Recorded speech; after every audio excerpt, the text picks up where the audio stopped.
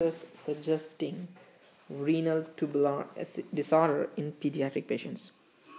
Okay? So what are the signs and symptoms that will suggest that suggest that the patient has a renal tubular disorders? Okay? So renal tubular disorders so remember the important features like growth retardation okay? Failure to thrive delayed motor milestones. Delayed motor milestones. Patient might have polyuria polydipsia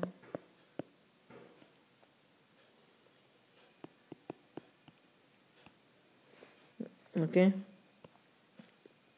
Then recurrent episodes of unexplained fever vomiting, diarrhea, right? And even patients can present with rickets,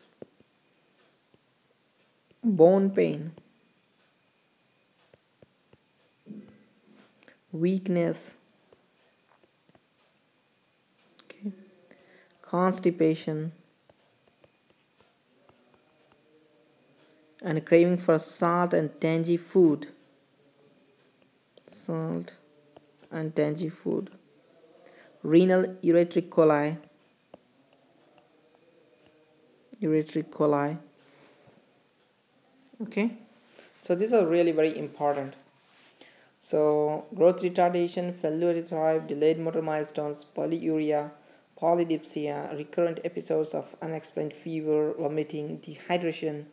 And a patient can present with rickets bone pains weakness constipation uh, craving for salt and tangy foods, renal and ureteric calculi. Thank you so much for watching this video. Take care.